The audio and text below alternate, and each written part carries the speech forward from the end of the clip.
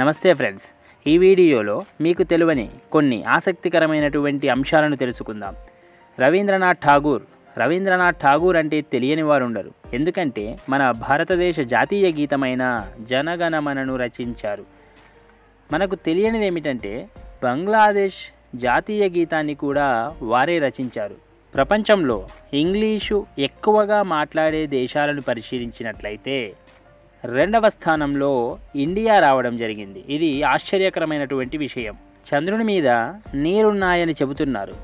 చంద్రుని మీద నీరున్నాయని కనిపెట్టిన మొట్టమొదటి దేశం ఇండియా. సెప్టెంబర్ రెండు వేల తొమ్మిదిన చంద్రయాన్ ఒకటి అనే ఉపగ్రహాన్ని ఇస్రో ప్రయోగించింది. అదే చంద్రుని మీద నీరున్నట్లుగా కనిపెట్టింది. మనం నిత్యం షాంపూ వాడుతూ ఉంటాం. ఆ షాంపూని ఎవరో విదేశ విదేశాల వాళ్ళు కనుక్కోలేదు. అది కనుక్కున్నది మన భారతదేశమే. ఇది ఏ విధంగా అంటే మనం ఒకప్పుడు కుంకుడుకాయలు వాడేవాళ్ళం. ఆ కుంకుడుకాయల రసం నుండే షాంపూను మొట్టమొదట తయారు చేయడం జరిగింది.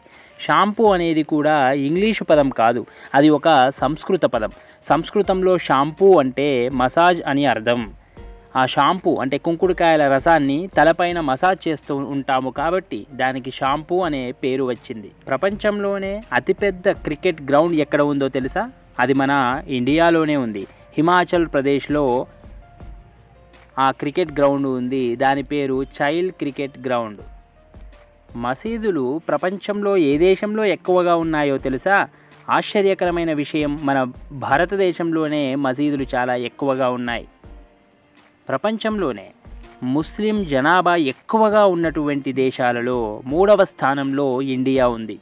ప్రపంచంలోనే మొట్టమొదటి విశ్వవిద్యాలయం ఏదో తెలుసా? మన ఇండియాలోనే తక్షశిల యూనివర్సిటీ అనేది ప్రపంచంలోనే మొట్టమొదటి విశ్వవిద్యాలయం. భారతదేశ రైల్వే ఎంప్లాయీస్ సంఖ్య ఎంతో తెలుసా? ఒకటి పాయింట్ మూడు మిలియన్ల కన్నా ఎక్కువ. అది కొన్ని దేశాల జనాభా కంటే కూడా చాలా ఎక్కువ. మన భారతదేశంలో ఒక సంవత్సరంలో పుట్టేవారి సంఖ్య ఎంతో తెలుసా? ఆస్ట్రేలియా యొక్క జనాభా కంటే ఎక్కువ.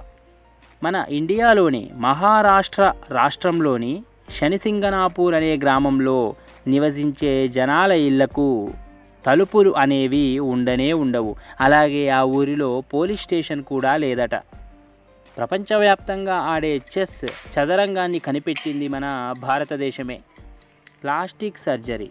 మొట్టమొదట ప్లాస్టిక్ సర్జరీని కనిపెట్టింది కూడా మన భారతదేశమే.